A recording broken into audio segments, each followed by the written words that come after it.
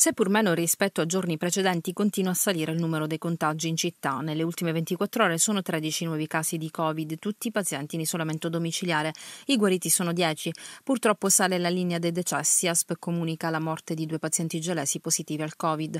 La curva complessiva del contagio è 983. Non risultano altri ricoveri. I due deceduti erano ricoverati al Vittorio Emanuele. Nel resto della provincia i nuovi contagiati sono 8 pazienti di San Cataldo, 7 di Caltanissetta, 3 di Mazzarino, 2 di Niscemi, 2 di Riese Iesi, uno di Resuttano.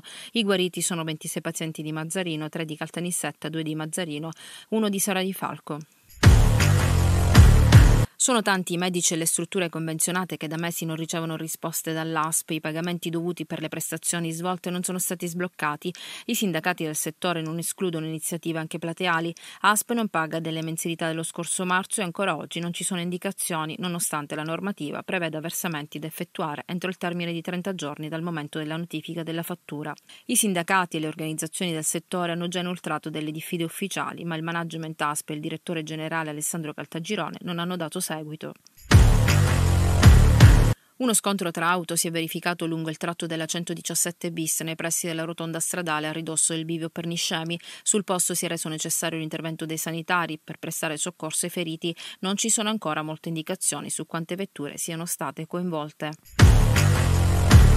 Le carenze di personale, che ad oggi mai veramente sanate, si abbattono anche sugli interventi d'urgenza. Da giorni, infatti, l'ambulanza medicalizzata dal servizio 118 effettua le attività senza un medico a bordo, un'assenza che può rivelarsi controproducente soprattutto quando ci sono situazioni di emergenza. Anche in questi ultimi giorni non sono mancate le tensioni con gli operatori dell'ambulanza che hanno anche rischiato di essere aggrediti da utenti che avevano chiesto soccorso, carenze che si fanno sentire ancora di più quando si tratta di pazienti a rischio Covid, anche nel recente passato è capitato più volte che l'ambulanza partisse senza medico a disposizione.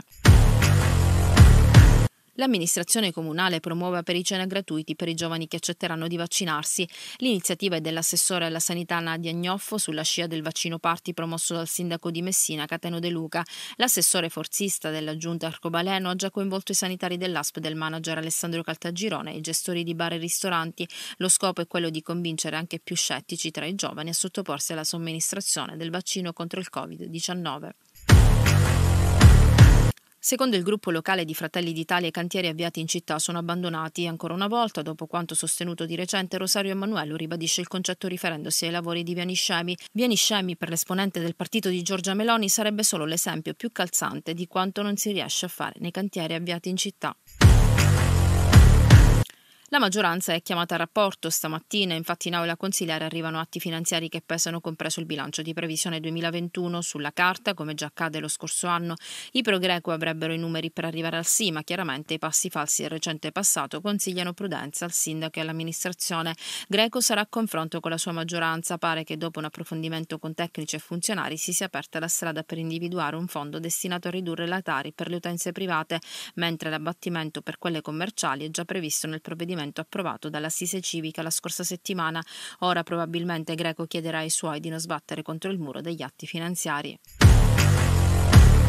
serviranno per realizzare il piano industriale che tra le altre cose prevede soprattutto la realizzazione di una nuova impiantistica per il ciclo dei rifiuti. Il CDA della SRR4 ha autorizzato l'acquisto di terreni limitrofi al sito di Timpazzo, sarà la società Impianti SRR controllata dalla SRR4 a procedere materialmente alla definizione del preliminare del contratto successivo di acquisto.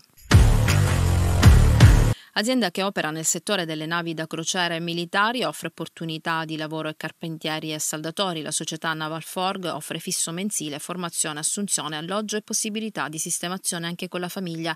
La sede di lavoro sarà nel comune di San Nazar, nota località industriale della Loira francese.